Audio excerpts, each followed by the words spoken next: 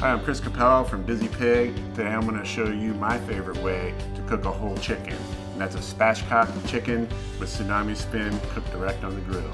It's my favorite way to cook chicken. I like the flavor that you get from cooking a spatchcock or butterfly like chicken direct over the fire. Real simple to prepare. All I'm gonna do is I'm gonna get in here and I'm gonna trim off a little bit of this extra fat and skin that's hanging off. A little bit of fat on the fire is good, but not all that. So we got the breast side here. Is where most of the meat on the chicken is, is in the breast. On the back side is the backbone. So basically what we want to do is remove this bone. I do it with a pair of kitchen shears. Just go right along the backbone. The trickiest spot is right here along the thigh. If you wiggle your shears, you can get around that. And just cut all the way down right through the ribs. And then just repeat that on the other side.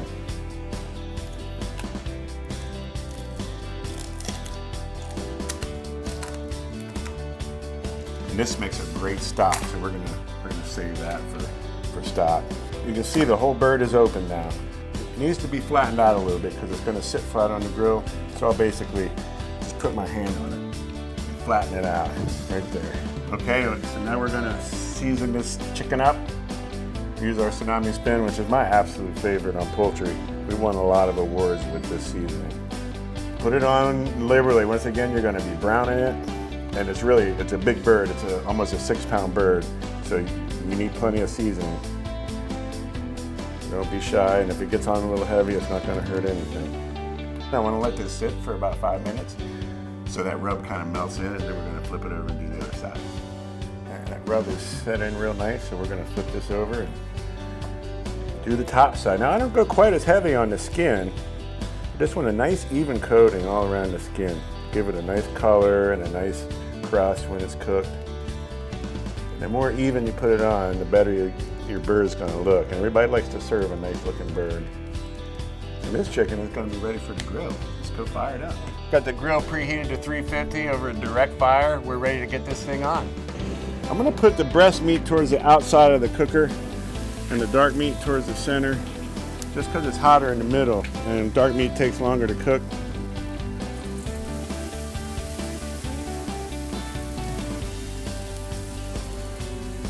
Tuck the wings in tight.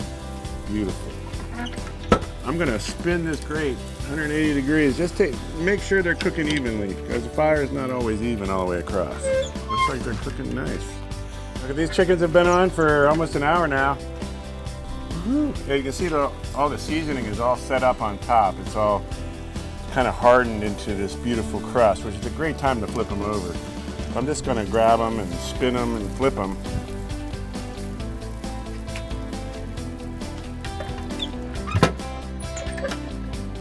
I'm going to check the temperature here on the breast.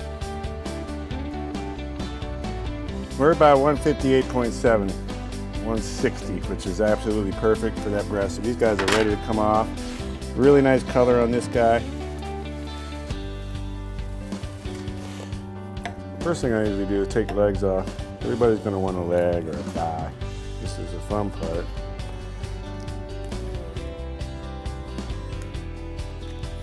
I like to remove the breast all in one piece. That way you can get skin and meat at the same time. You can see how moist that is right there, glistening.